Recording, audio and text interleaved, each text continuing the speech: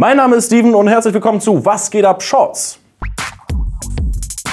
2003 sind die USA das zweite Mal in den letzten 25 Jahren in den Irak eingezogen. Damals behauptete die amerikanische Regierung, dass der Irak unter der Führung Saddam Husseins im Besitz von Massenvernichtungswaffen sei. Mit dieser Begründung erklärte der damalige Präsident George Bush Jr. dem Irak den Krieg. Diktator Hussein wurde zwar gestürzt, aber das angebliche Waffendepot wurde nie gefunden. Die wahren Gründe für den amerikanischen Waffengang sind bis heute nicht hundertprozentig geklärt. Ende 2011 rückten die letzten amerikanischen Truppen aus dem Land ab. Seitdem herrschen im Irak bürgerkriegsähnliche Zustände. Immer wieder kommt es zu gewaltsamen Auseinandersetzungen zwischen den islamischen Glaubensgruppen der Sunniten und Schiiten. Ein Grund für die Spannungen sind die verschiedenen Machtverhältnisse. Sobald eine Glaubensgruppe den Regierungsführer stellt, fühlt sich die andere Gruppe unterdrückt. Als Mittel der Destabilisierung der jeweiligen Regierung werden vor allem Bombenanschläge oder Selbstmordattentate verübt. Fast täglich sind Meldungen über Anschläge in den Nachrichten präsent. Zum diesjährigen Fastenmonat Ramadan spitzte sich die Lage im Land weiter zu. Laut den Vereinten Nationen wurden in den letzten letzten 30 Tagen mehr als 1000 Menschen getötet. So viele wie seit fünf Jahren nicht mehr. Davon starben mehr als die Hälfte in der irakischen Hauptstadt Bagdad. Al Jazeera und Reuters zufolge sollen in verschiedenen Stadtteilen mindestens acht Autobomben explodiert sein. Dabei waren vor allem schiitische Bezirke betroffen. Ziele der Anschläge waren vor allem Cafés, Märkte, Restaurants und ein Freizeitpark, wo sich zum Fastenbrechen am Samstag sehr viele Menschen aufhielten. Der Großteil der Anschläge, die in den letzten Wochen verübt wurden, wird den Sunniten zugeschrieben. Diese fühlen sich seit dem Machtwechsel von der schiitischen Mehrheit unterdrückt. Nach dem Sturz Saddam Husseins, der Sunnit war, haben nämlich die Schiiten das Sagen im Land. Momentan ist der Schiit Nuri al-Maliki Regierungschef. Die Vereinten Nationen zeigen sich besorgt über die blutigen Entwicklungen im Irak. Auch in der Bevölkerung wachsen die Ängste vor einem Bürgerkrieg. Das US-Außenministerium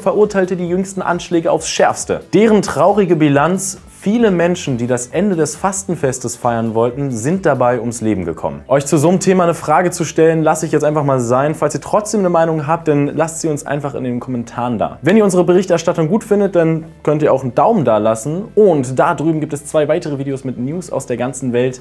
Um immer auf dem Laufenden zu bleiben, da drüben könnt ihr abonnieren. Und Texcalibur könnt ihr auch mal abchecken. Da geht es um Nerdstuff, Gaming und Filme. Und wenn ihr Bock habt, checkt einfach mal unsere Facebook-Seite aus oder followt uns auf Twitter oder auf Instagram. Gut, ich denke, das war genug schlimme Sachen für heute und äh, wir sehen uns dann beim nächsten Mal.